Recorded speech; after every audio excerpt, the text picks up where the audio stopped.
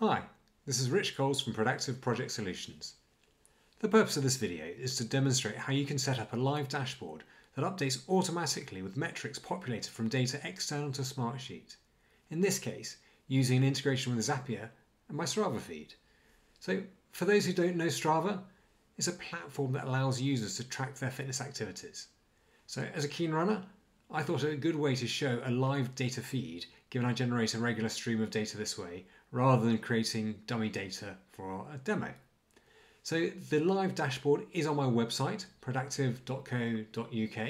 So if I hear from the homepage, and if I go to demo, I'm going to go into the live dashboard. And you can see it any time and you can see how it continues to update automatically rather than it just being a static one which I've created for this. Now I've also got a series of other dashboards that you can see here so please have a look at any time if you want to see that piece. Now my aim isn't to show off my Strava feed or anything like that.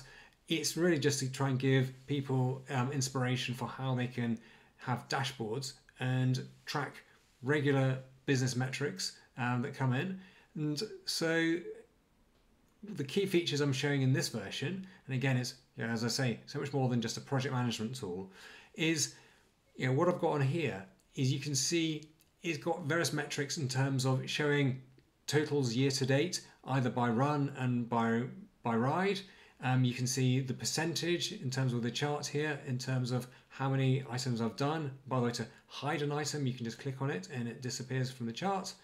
Um, you can see the longest all-time run or ride I've done in this case, or the run distance, you know, distance from last week, bike distance last week, and how much you're doing this week. So if you think of this from sales metrics or any other business KPIs that you might be tracking, you might want to know what's your largest order of all time, for example. What what are your values that you've generated year to date um, on this bit, and what did you track and uh, achieve last week, and then how are you tracking this week as well.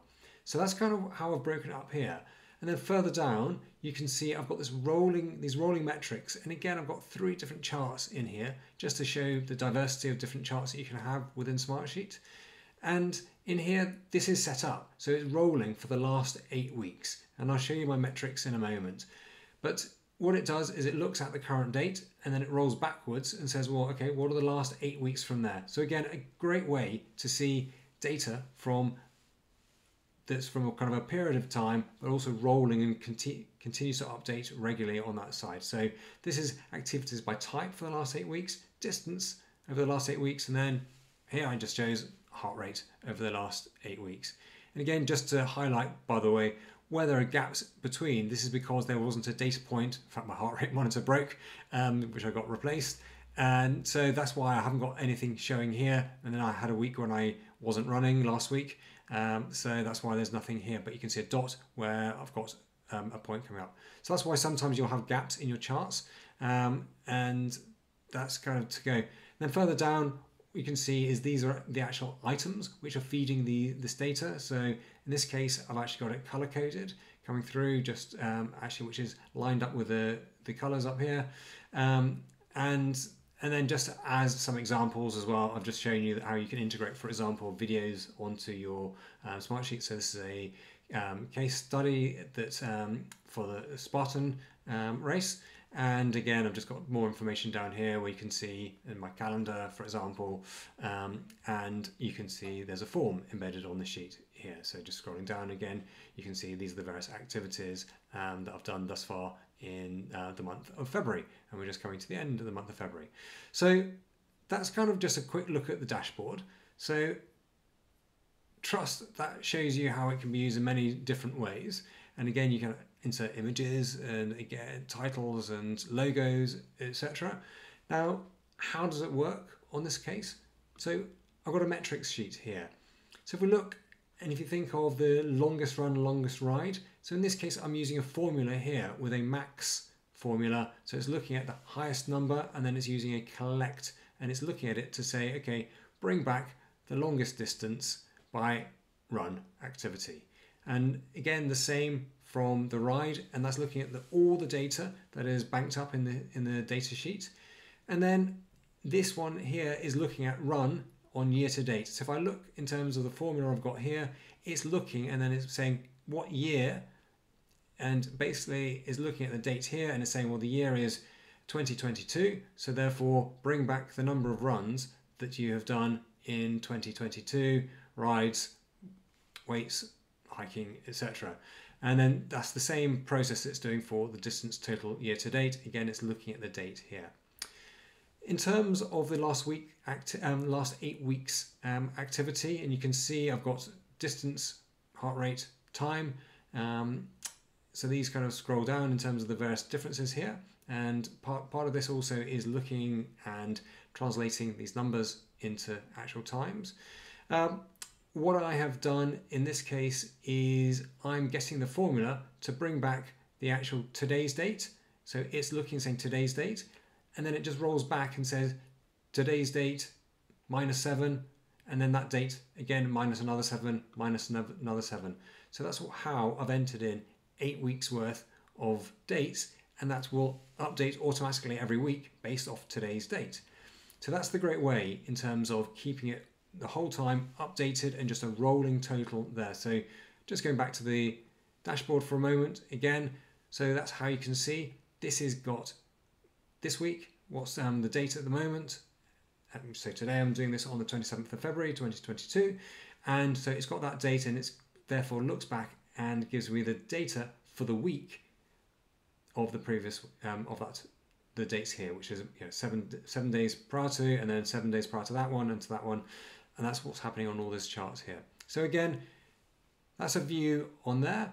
All this data is coming from my Strava metrics, um, wrong, my Strava chart, and this goes down for you know years and years and years of data. So I'll just keep scrolling down, and again, so I can keep going to 2021 and back to kind of when I first started recording stuff on Strava. So that I've said. In terms of the dashboard, what I've mentioned is this is data which is coming from external to the system. So uh, in terms of Strava, just giving you a quick sort of view in terms of Strava, this is an external system. So the information goes in here. I need to get it into my sheet in Smartsheet. So how do I get this to go into the sheet? Well, I use something called Zapier, Zapier, Zapier. They're called Zaps, so I understand it's called Zapier. So, and within the Zapier website here, um, so zapier.com, what I have done is it's a way, so if there are items which are um, not, where there isn't a direct integration currently with Smartsheet, then you can look at Zapier or other um, platforms which are um, similar. In this case, I've used Zapier because it was just incredibly easy to do so. And then you can find ways to integrate into Smartsheet. So what I did in this case is I just created a Strava to Smartsheet and I looked up and I said, here, anytime there's a trigger, which is a new activity appears in my Strava feed, I wanted to add a row to a sheet in Smartsheet. And it was as simple as that in terms of adding um, these items into my piece. What I had to do was look and see what data was actually pulled through when it when I did it. So again, it took me to look and see. And so there was a bit of manipulation I had to do to get the data to come through exactly as I wanted it. But I moved things around. And again, so there's more data which comes through on this side. But this is kind of the overall data feed. And the end result is something which I'm very happy with because it gives me an opportunity to see my data charted in a different way um, and again, you know, for people who want to share this data elsewhere, so whilst people can kind of look on my Strava feed, actually it's a different way to see your your data. And again, it's just a hopefully a very useful demonstration for people to see a way of charting information, which could be business metrics of um, or organization metrics of any kind, how you want to do it, and again using it either directly within Smartsheet or using an external platform to help bring data from a different system, in this case from Strava, into my Smartsheet. So trust that's been useful. Uh, I will do some further videos on dashboards just to help people see and give ideas of how you can then create amazing dashboards because one of the greatest things about Smartsheet is the ability to share information via dashboard and really see the key information quickly, easily, and it's live. So thank you for watching. Uh, if you're interested, please do subscribe and I will continue posting more videos that I trust are of interest. So thank you very much for watching and I'll be back with another video sometime soon. Thanks. Bye for now.